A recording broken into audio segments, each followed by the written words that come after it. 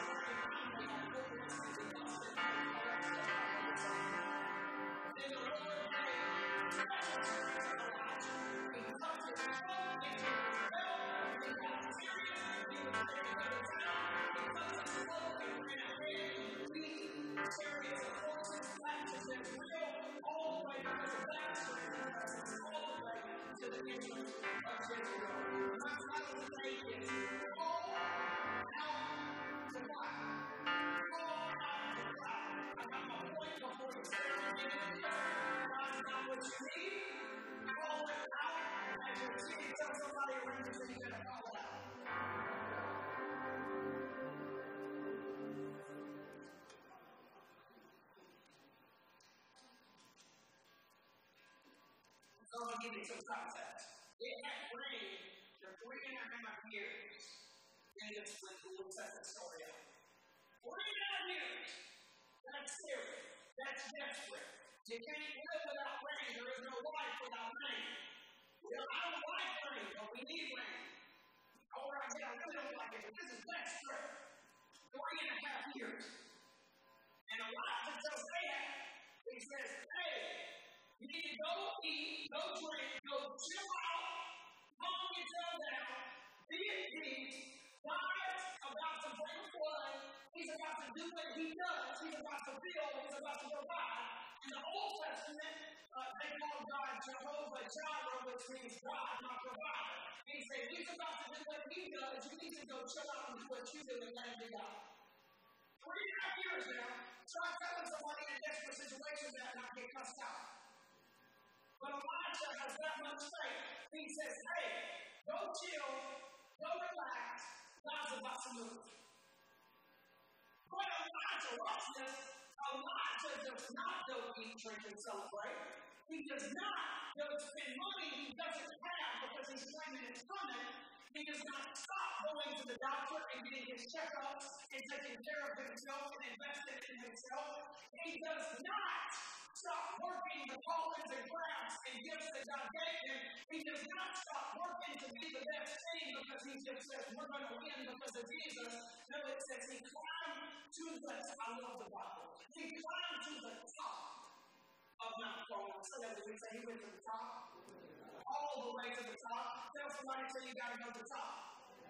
He went to the top of Mount Carmel. No halfway, no half stepping, no half working, not half in, half out, not unstable and flaky. He went to the top. He spoke faith to Ahab. He did not panic when, when he was going broke and tell his family we got to go broke and we got to lose everything. No, he spoke faith to Ahab, but he knew I'm going to the top to see the presence of God. He did not sit at the top of the mountain. This is unusual. You got to really know context. This is unusual for a prophet like Elijah. He did not sit. He did not kneel. He did not stand. He did not pace around the mountain like I did this stage because I cannot take slow down. The Bible says he bowed low to the ground. He prostrated himself. Every time I say prostrate, everything I can do not to say prostrate because I don't say that. I just say it tells me why I'm stretched out saying He laid out. The Bible says his head between his knees. So he did not care about American church culture and procedure. He did not care about formalities. He, he was all in, head down, laid out. He didn't care about church appropriateness. This man was speaking faith to the king that was panicking, but he was at the top of the mountain because he knew we got to have some rain to in. It was me and him and God. Him and God, not him, not me against the world, not me against my employer, not me against the other team, not me against the corporate rival, not me against my spouse, not me against my coworker for the promotion. Elijah spoke faith. He climbed to the top of the mountain. Me and God, just like the woman with the alabaster jar of perfume, who busted in this big political party that these big wigs threw to impress Jesus with their resources. And, and we don't even know the history. It's rumored that this woman may have been named Magdalene or some type of prostitute. But we don't know. All we know is they didn't like it that she was there. She didn't care if they were there. All she cared is Jesus was. So it's that type of John, I mean, literally watching Jesus speak with her tears. See, Elijah's got this mindset which is faith. I've been preaching on faith a lot this year. I'm say I'm talking about preaching on a lot more because there's a lot more depth we need to it. It's me and God. Now, now I want to can cross the line with preaching on. Elijah spoke faith, but he did not deny reality. Okay, there's a lot of teachings over the years, and I've gone into them at times, and I've had to unteach myself. Faith is not denial, that's actually laziness in the gut, and it's irresponsible. Faith is not faith. Faith is when you can acknowledge your failures and what you're facing, but not be ruled by fear. Faith, I'm going to say it again for all my people that either you're not hearing me or you're ADD out still thinking about what you dealt with coming in here, got to deal with going out. Faith is when you can acknowledge your failures and what you're facing and not be ruled by fear. Elijah spoke faith to Ahab. It's about to rain. It makes it impossible. It's been three and a half years. I'm telling you, God is going to do it. But this silver climbed to the top of the mountain. We like to park at the front of the parking lot. We like to back in the parking lot in America. This man climbs the top of the mountain, lays out, and just seeks the presence of God and worships and says, God, I got to rely on you.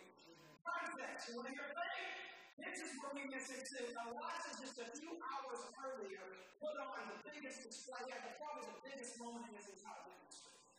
He put on fireworks display, a heavenly one. Biggest one to this day. He called fire down from heaven. He smeared the uh, prophets of Baal and the glory of God. Big moment, right? See, when we start bringing in God's stuff, I'm talking to myself. When this church starts growing, it's easy for me to lose my sense, and for you and your women, and the income is coming in, and the fruit is showing, and God is moving. It's easy for you to lose your sense of alignment and dependence on Jesus. But Elijah comes from his biggest moment. He doesn't go down the mountain, he goes up. He goes to the altar. He goes to the knees. He never relied on his own self and the lessons he learned in his bitterness and anxiety and all the things that you got to through. He went up the mountain straight to the top. But the faith is when you can be honest with where you are. I'm here. This is where I am, but this is not where I'm saying. This is. This is where I am. See, you can be honest with your faith. John the Baptist was honest with his faith. We preach on John the Baptist all the time about faith. How I must decrease so that he can increase. John the Baptist sent his disciples to Jesus because he started doubting. He asked them, this is Jesus, is his first cousin. The only reason he face Jesus face to face was he's in prison. And he tells them, Are you the one? John wants to know, are you the one? Like I said, some of my church people, some of you guys, and you go to that same to ask Jesus, hey, uh, John ain't really believing in you anymore. Are you the one or should he look for somebody else? Should he find something else to look for? John was honest with him. He acknowledged it. He didn't that, but he was honest with where he was because prison was really messing up his perspective. Carry the rain. Many times, because I'm going to mess up for years to come, because known him for 20 years, uh, uh, Terry. Terry the rain, The rain, the rain.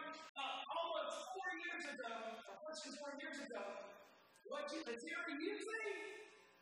No, Terry had to, Terry had her, had, had to take care of her husband who suffered with pancreatic cancer and died of pancreatic cancer. And Terry was very honest. I love her sincerity. You think she's anointing a leader, she's honest, and I love that.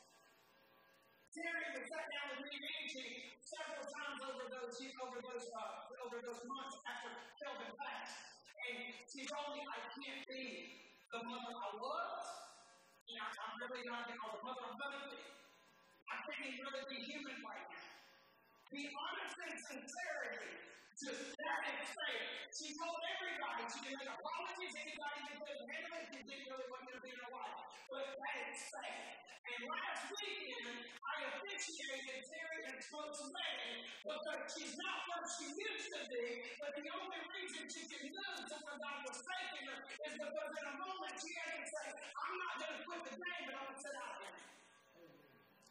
there. And in, in the end of this month, I will be ordaining her as our children's pastor and administrative pastor because almost four years ago, I saw a woman of faith and I'm not quitting on God, but I'm strong. Faith is truly being honest with where you are. See, Elijah was in this honest, vulnerable moment.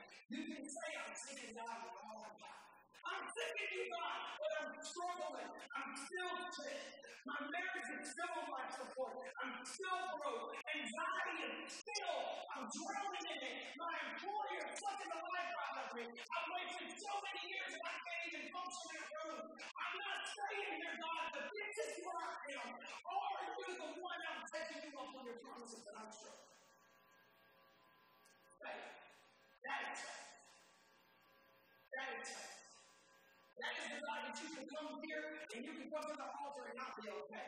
You don't have to say you're blessed just because God is good if you're not blessed it, if you don't feel blessed. Faith. Faith. Faith. Faith. Can we just call it out right now? Say this me, say, I'm not saying it. If it's good, God's got great. Say, I'm not saying it.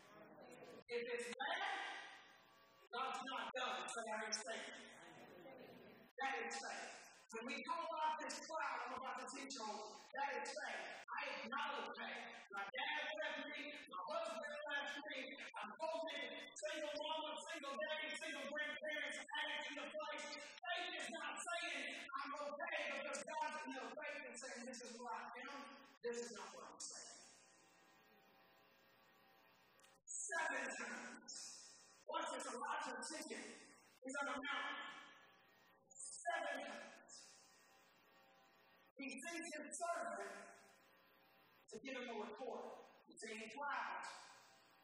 Seven times. I call it stubborn persistence. When you know and believe that God's got what you need so you forgive and call it out. I need you to go look, man, go tell me what the report is because seven times, instead of stubborn pride, we need some stubborn persistence in our life. Seven times.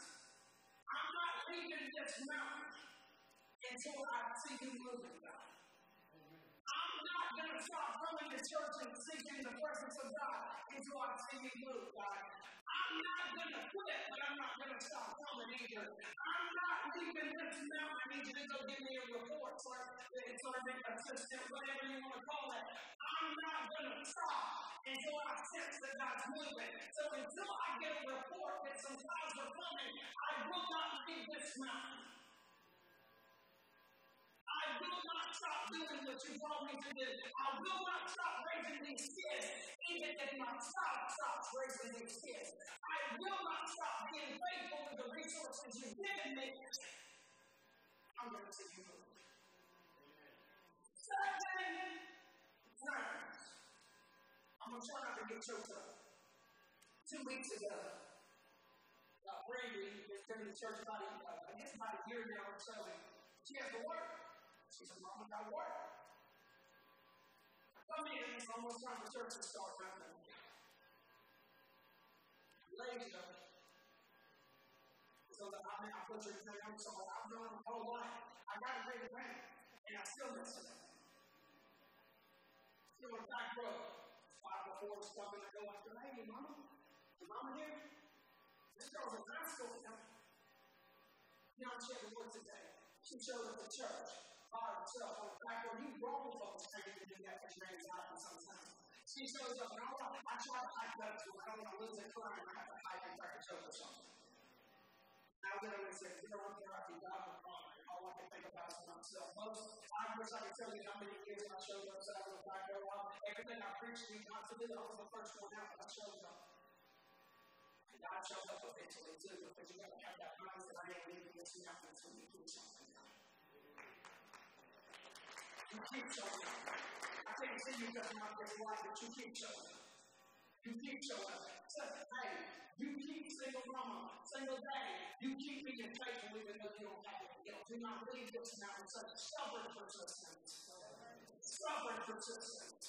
Stubborn persistence. You keep being faithful as the backup, even though you should probably be starting. But there is something politicking that is keeping you out of the game. You be faithful as the backup because when God opens doors, He opens them they can't be closed, but you stay on that mountain. Don't you dare leave that mountain. You keep, you started the new supervisor, even though the job was supposed to be yours.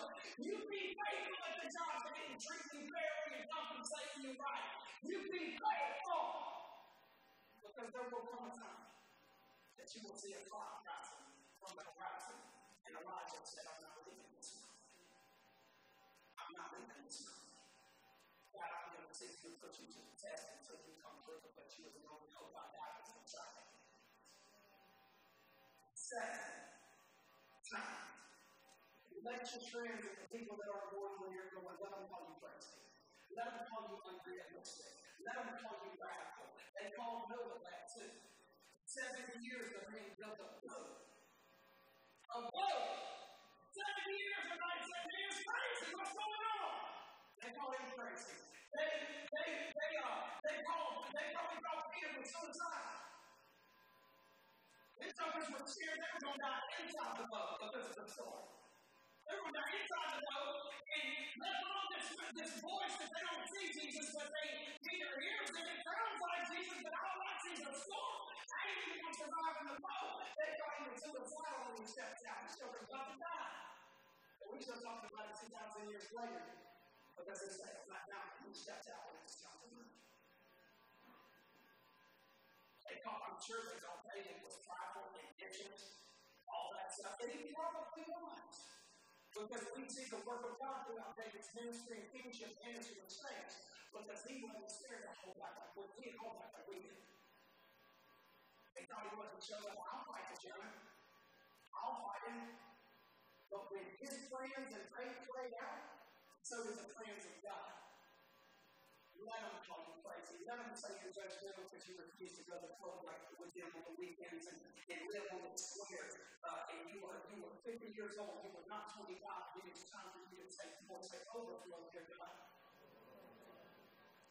Do not leave a couple years ago, a couple years ago, I mean, it's time of terrible stress in ministry. I remember sitting down with the pastor, and I told him, I straight said, man, it's an crazy some places it's like, you know what's so different? It's just we don't even know how, we don't even have a barometer for what it looks like for us to grow and not grow. It is different. What for Jesus is the but what who we're trying to reach and the things we're trying to do and not do is different. And I thought to myself, that's just crazy. I don't know why I tried. I said, you know, I thought to look at it, I said, you know what it's cost me? It's cost me family, mentally, emotionally, financially, oh gosh, you know what I, I, I just feel like I'm crazy. He told me this, I'll never forget it. I'm going to preach it and encourage you today. He said this. He said, if you want to go crazy, you're in call.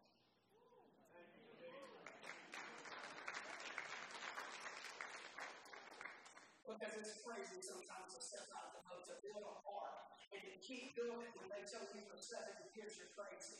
Elijah told his son, you keep going to check, we stay here until God does something. Tell somebody, say, stubborn persistent. Stubborn persistent. Here's the thing about it. You can't live without water.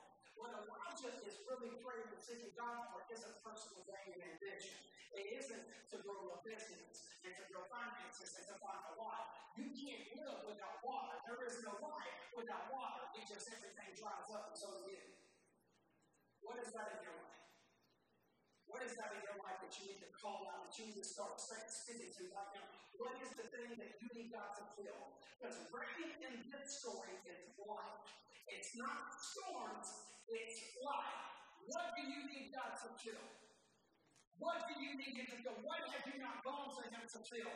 What do you need Him to rain on in your life? What is it? What do you need a breakthrough from? And you need to break through. Because there's some things that only God can close the gap. Then there's some things that you need to be quit being so resistant to change. You need to quit being stuck in your ways. You need to quit being so shallow in your thinking and selfish and inward in the way you live your life. What is the something? Where's the places that you need God to rain? Because water here represents the resource for life. That's why Jesus said, Whosoever will come and drink of the water of life freely. The woman said, What else to say? What have I done? You'll never thirst again. Water, life. What is it in your life? What is it in your life? He sends his servant, he says, Go seven times. The seventh time. Okay, y'all gotta see the extreme in the story. The seventh time, this silver comes back. There is probably a good chance this joker was tired of going out. He was tired of it. There's a good chance he may not have been lying. He was imagining something because he was like, man, we can't stay here forever. We are always trying to rush. I'm always with the staff. My biggest extreme is I looked at Terry a couple weeks ago. I said, hey, what are our numbers looking like? We're always trying to rush. And the servant was probably tired of going out and telling him no news that season of your life that you are doing the right things, but you're not getting the results. Momentum is slow. Finally, the servant comes back. Who knows why he said it? Here's the point. He comes back. He says, I see just a small cloud on the horizon about the size of a man. Said, what does that even mean? How you couldn't see my little midget hands on the horizon right now?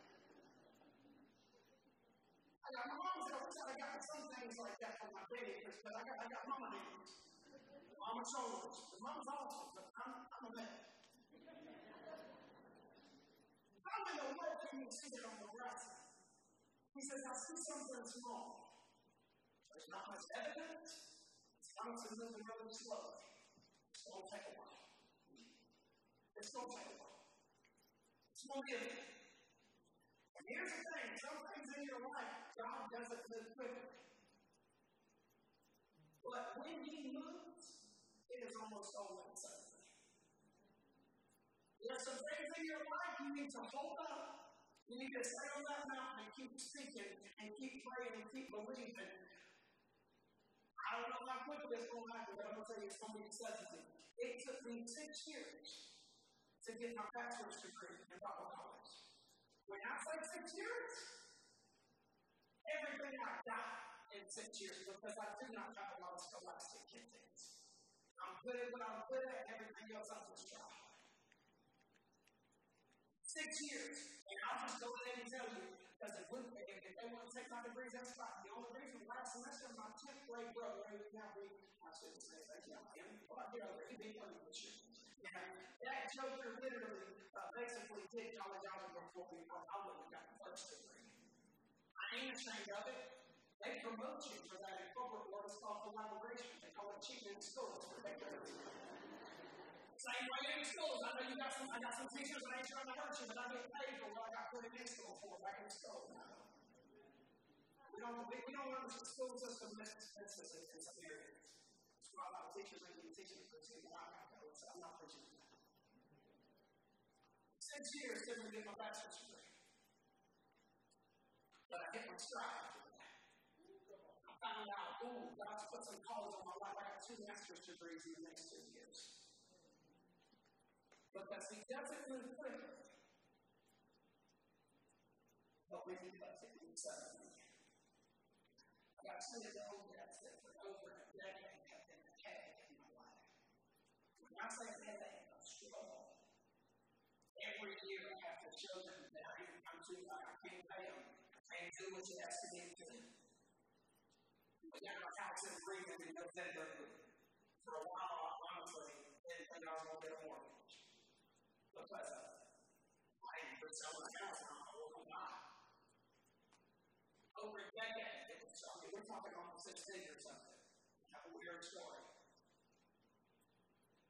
And just suddenly, suddenly, I get an email at the perfect time for my mortgage that says the government has, some, some years of public service that they rejected years back. Uh, I basically was given four and a half years, and, and I wasn't going to be forgiven of my loans for 500 years. It was going to be, and I literally, my loans are right now in the process of being discharged. I'm going to be forgiven of almost $100,000. So, I thought I was going to be single my whole life. I did. I did. I got to a place in my late 20s and I was, I was at peace with it. I thought I'd never find somebody. I'm telling you, I could tell you Valentine's Day stories that would make you roll over laughing, and you got time to do it that would make you probably tear up and say, oh, oh, oh.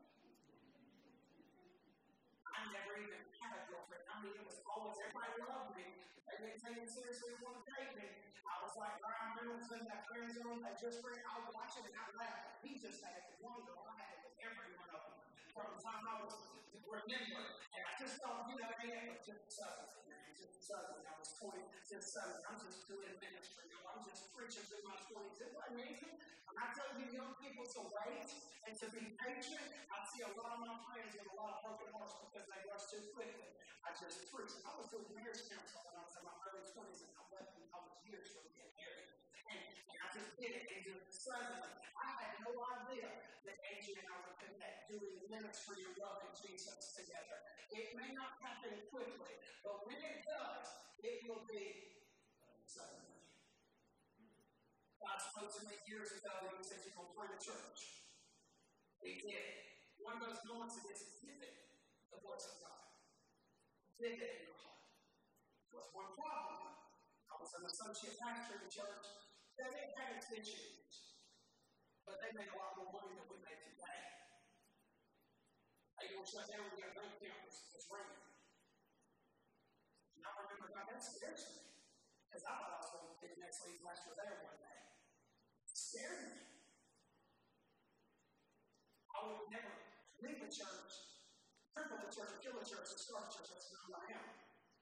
Got me some good reasons to I'm good the church. For the next three years would be absolute hell. Two of those be the first year of my marriage. It was hell. But you know what? That church I never thought would shut down. Some things came to the surface and it shut its doors suddenly.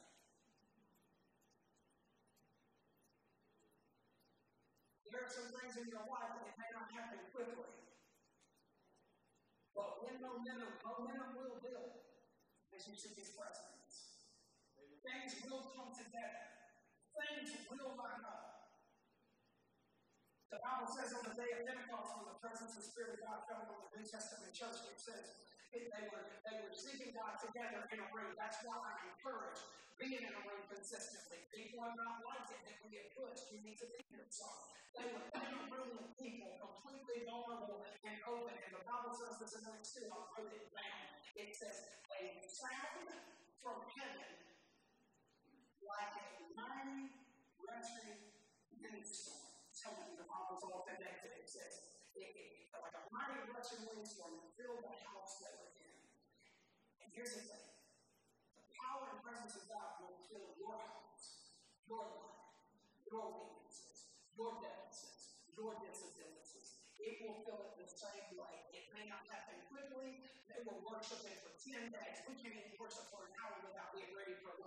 10 days, but it filled the upper room. It'll fill your marriage. It'll fill your life. It'll, fill, it'll cover your past, your shame, the years you wish you had back. But you got to, you got to call it out. You got to say it now. Tell somebody to say, call it out right now.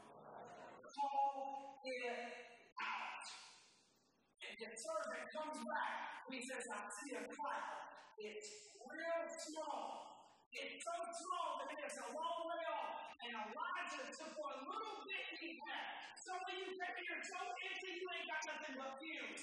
He basically got a fume report. And he says, hey, go tell Ahab he better get in his chariots and get back to Jezreel where he's from, or there's a rainstorm coming and he's going to get stuck. Off a little, small hand on the horizon that I really believe this over made something up because he wasn't ready to spell that mountain any longer. A little hand, he takes it and runs with whatever he's got. I'm going to tell you, years ago I baptized somebody. Uh, I said God moved his life. He told me, he said, I don't even know if I believe. I'm, I'm starting to believe. And I told him, I said, you take whatever you got and you drop it like you started.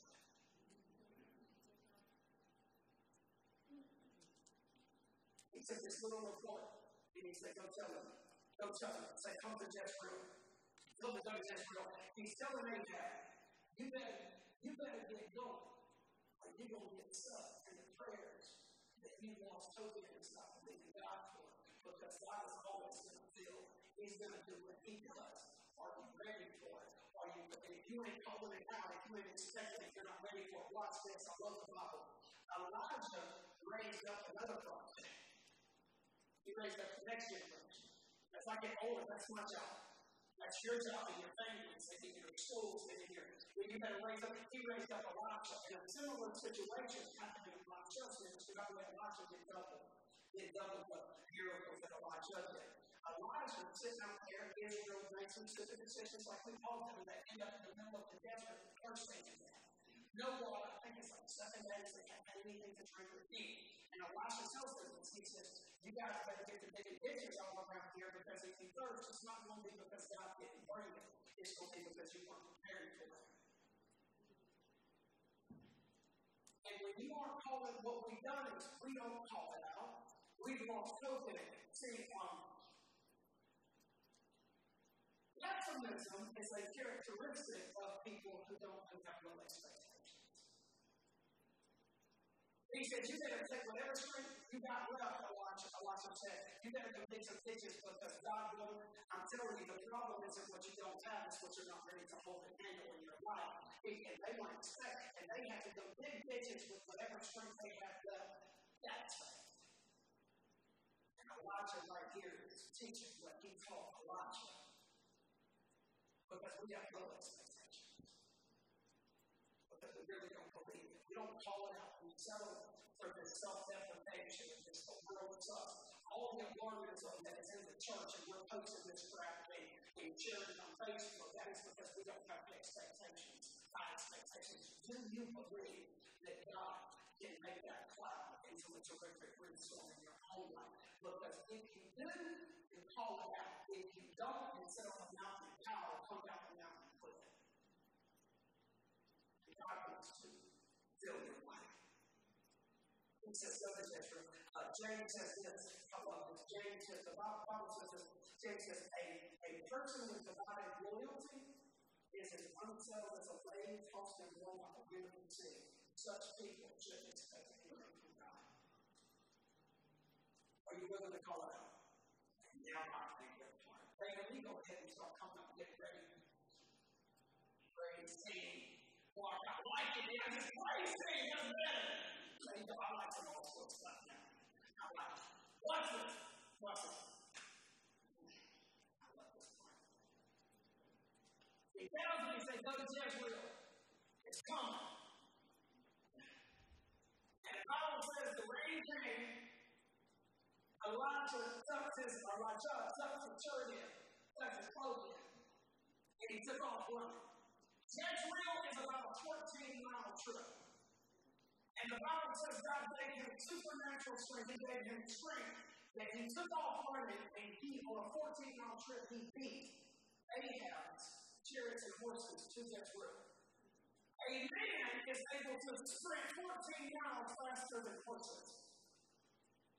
God will do the same for the gaps and the deficits and the years lost in your life too. He will close the debt. He will close the gaps of the debt that you thought you would die with one day. That you thought only your life insurance policy would be able to pay. He will close the gap in the relationships. You to find a divorce and you try to get some company or you swear you'll never get married again. He will make you whole. He will, he will close debt. He will cause your criminal record not to follow you the rest of your life. He will close the gaps. The says he will restore, he will restore the years that cankerworm devoured. A cankerworm was a locust that just ate everything. Whatever you've allowed to be eaten in your life, whatever anxiety is stolen from you, he will close it. The Bible says Elijah touched his cloak, God gave him strength. He took off the Jezreel. God will give you strength to say, I say, call it out. It like you mean it, say, call it out. Call out the on your life. Call out the dreams that you stop dreaming about that you up on. Call out the gifts and abilities that you walk in a room and you don't contribute to the conversation because you're scared. Call out the doubt that you were tired. God doesn't want you to struggle and suffer and stay in poverty forever. God doesn't want you to just pay bills and make ends meet. Call it out. Don't just come to church and hear me tell you about it. Don't just be inspired by my testimony. God has one for you.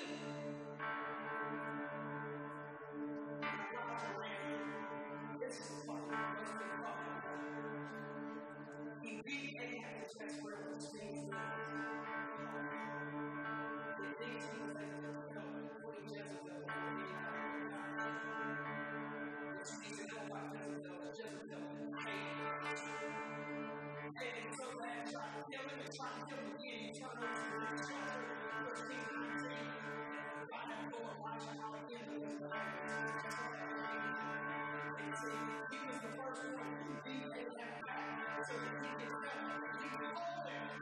this is what God did.